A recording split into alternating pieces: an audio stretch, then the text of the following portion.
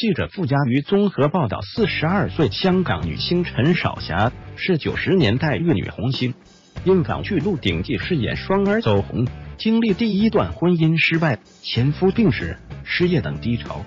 二零一六再婚，身价三十二亿的大陆法拉利之父李文辉，已经与前夫育有两个女儿的他，二十九日证实成功怀上第三胎，即将与现任丈夫迎来两人第一个爱情结晶。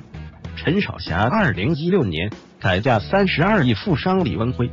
图翻摄自微博。陈少霞，陈少霞二零零零年闪婚澳洲华裔富商后，逐渐淡出演艺圈，并生下两个女儿。没想到。丈夫经商失败破产，随后宣布离婚，她只好独自肩负养育两女的责任，再度复出。没想到演艺事业却一直未见起色，还在二零一一年罹患甲状腺亢奋，历经长女得糖尿病、前夫骤逝等多重打击，她靠着宗教信仰渡过难关，也因此和法拉利之父李文辉结缘，再度步入婚。陈少霞与六十一岁夫。即将迎来两人的第一个爱情结晶。